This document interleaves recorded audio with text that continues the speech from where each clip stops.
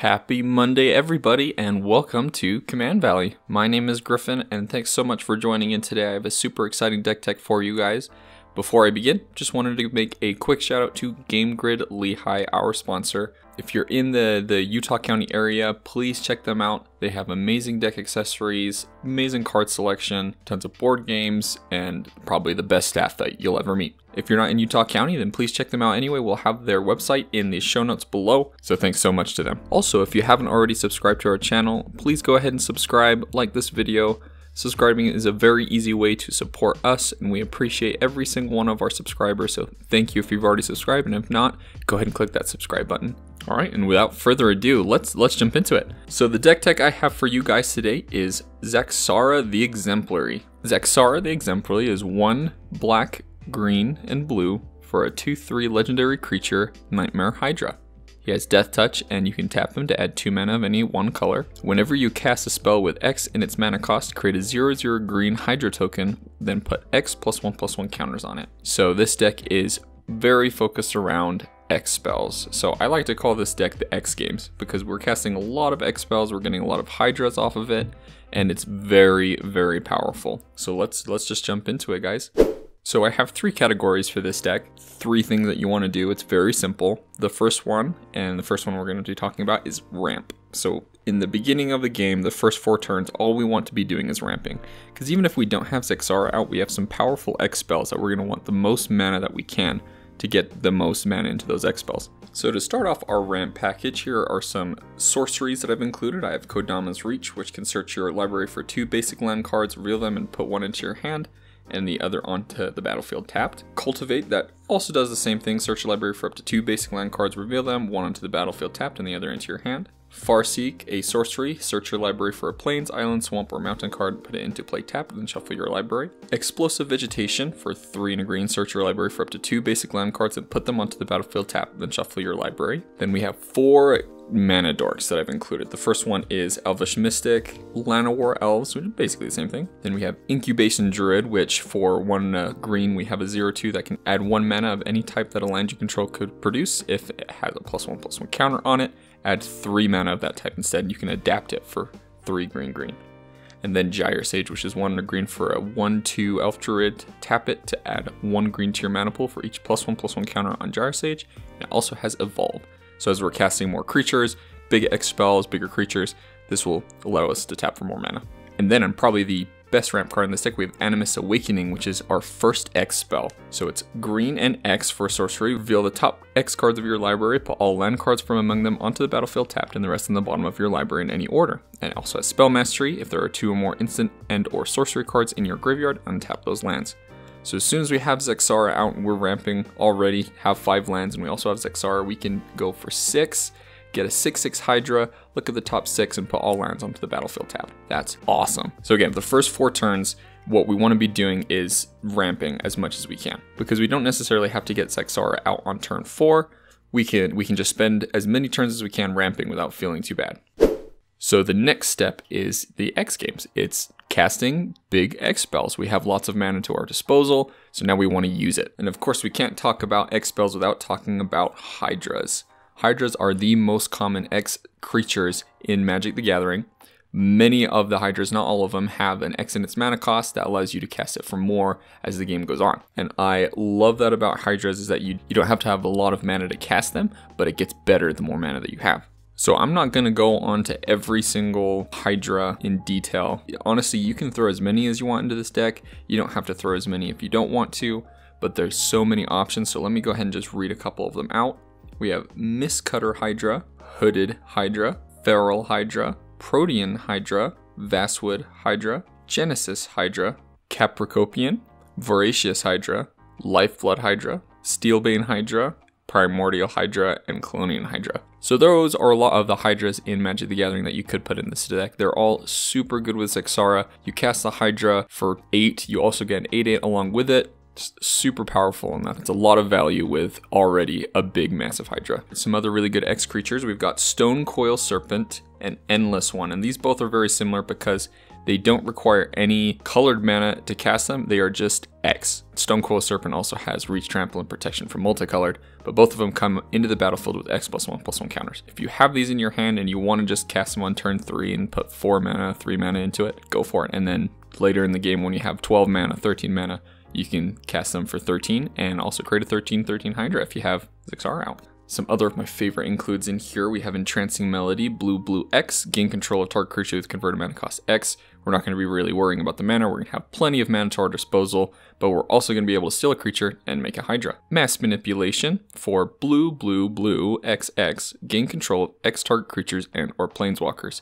Now late in the game when we have access to a lot of mana and we can just dump it into Mass Manipulation, we're going to be stealing so many creatures and creating a massive Hydra. That's the thing I love about Zaxara is that these are already super good cards and we're just getting extra massive creatures off of it and I just, I adore that. We've got Altered Ego for X2 green blue. We have a 0 0 shapeshifter, it can't be countered, and you may have it enter the battlefield as a copy of any creature on the battlefield except it enters with X additional plus 1 plus 1 counters. So the cool thing about this one is that you don't have to put anything into X, you can just have it come into the battlefield as a copy. If you want to put additional mana into it, you can and create a Hydra off of it. In the precon itself, we have Nissa, Steward of Elements. She is X green blue for an X loyalty planeswalker, so she comes in with as many loyalty counters as we put into X, and for plus two, scry two, for zero, look at the top card of your library. If it's a land or a creature card with converted mana cost less than or equal to the number of loyalty counters on Nissa Steward of Elements, you may put that card into the battlefield. And minus 6, untap up to 2 target lands you control. They become 5-5 elemental creatures with flying and haste until end of turn. They are still lands. So Nissa is just a really good planeswalker because she has that excellent mana cost, so we can dump as much mana as we want into it. We can get a really big Nissa, and we can also get a big Hydra off of it too. And then lastly, I wanted to include this card. It's Diabolic Revelation. It's three black black X for a sorcery, search your library for up to X cards and put those cards into your hand and then shuffle your library.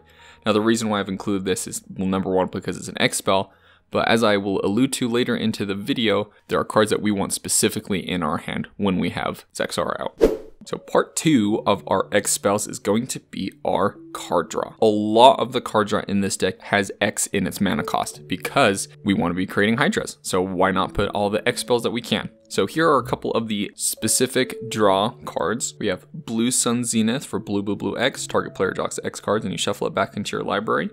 Mind Spring, blue, blue X, just draw X cards. Stroke of Genius for two blue and X. Target player draws X cards. Finale of Revelation, blue, blue X, draw X cards, and if X is 10 or more, instead shuffle your graveyard into your hand, draw X cards, untap up to 5 lands, and you have no maximum hand size for the rest of the game. And then you exile Finale of Revelation. And we have Pulled from Tomorrow, blue, blue X, draw X card, then discard a card. Now these cards are super important in this deck, and the reason why I love them is, again, we are going to be ramping from turns 1 to 4. So by turn 4, we're going to have access to 7, 8, or even 9 mana, and we can just dump it into one of these big card draw spells and just refill our hands. But they will be very important later in the game, but I'll go into that in a second. Some other card draw spells, we have Epiphany at the Drownyard for blue and X. Reveal the top X plus one cards of your library and separate them into two piles. An opponent chooses one of those piles, put that pile into your hand and the other into your graveyard. It's like a reverse Fact or Fiction where you you make the piles and then they choose what you get. Thassa's Intervention for blue blue X, we have choose one, look at the top X cards of your library, put up to two of them into your hand and the rest on the bottom of your library in random order. Or counter target spell unless the controller pays twice X. So a lot of flexibility on that card, and it's an X spell, which is exactly what you want. Two more specific draw spells that I have in here. The first one is Return of the Wildspeaker for 4 and a green. It's an instant, choose one, draw cards equal to the greatest power among non-human creatures you control. So that could be either one of the Hydras that we've created, or maybe just a token that we've created off of Zaxara. And then the other mode, non-human creatures you control get plus 3 plus 3 until end of turn. So it's a nice flexible card we can either draw, or if we have enough power to finish, we can pump them up plus 3 plus 3. Then Rishkar's Expertise for 4 green green, we have a sorcery, draw cards equal to the greatest power among creatures you control, so like Return of the Wildspeaker, but you also can cast a card with convert mana cost 5 or less from your hand without paying its mana cost. So just a nice little addition to drawing cards. Then I have two more that aren't specifically card draw, but I've included in it. The first one is Wildest Dreams. For green XX, we have a sorcery return X cards from your graveyard to your hand and exile Wildest Dreams. So this is a really good card later in the game where we spent a lot of our mana, we've casted a lot of creatures, a lot of X spells, and they're all in our graveyard. We can use Wildest Dreams, dump all of our mana into it, and get all those cards back. And then lastly, probably my favorite card in this deck, Villainous Wealth. X black green blue for a sorcery target opponent exiles the top X cards of his or her library. You may cast any number of non-land cards with converted mana cost X or less from among them without paying their mana cost. So this is a very, very powerful card, especially if you have a lot of mana to dump into it. If you get 8 cards off of your opponent's decks, especially if they're playing big creatures, big flashy spells, it is so fun to cast this card. The last step of this deck is the win conditions. How are we going to win? We're already going to be creating a ton of Hydras. So if you're not already winning off of just swinging them, taking your opponents out the classic way, we have other ways of being able to take out our opponents.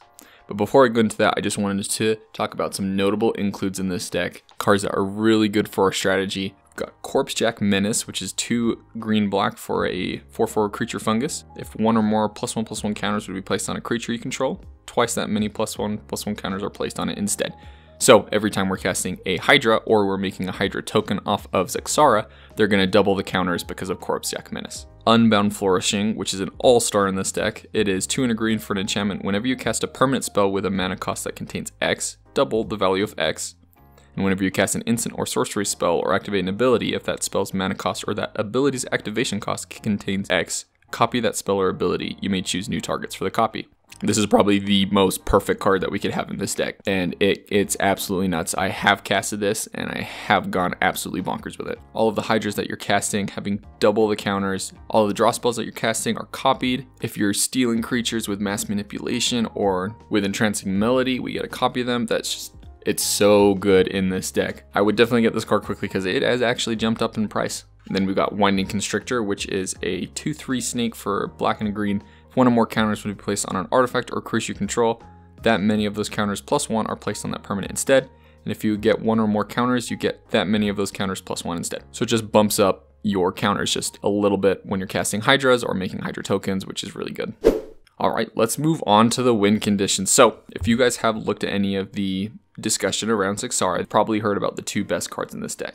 So I'll go ahead and read them and I'll tell you why they are so good. There are two cards in this deck that allow us to make infinite mana. The first one is Pemmin's Aura. For one blue blue, we have an enchantment. It has three one blue abilities. The first one is to untap enchanted creature. Second one gives the enchanted creature flying until end of turn. Third one, enchanted creature can't be the target of spells or abilities this turn. And then it's a generic ability. Enchanted creature gets plus one, minus one, or minus one, plus one until end of turn. And then the second one is Freed from the Real. It is two and a blue for an enchantment.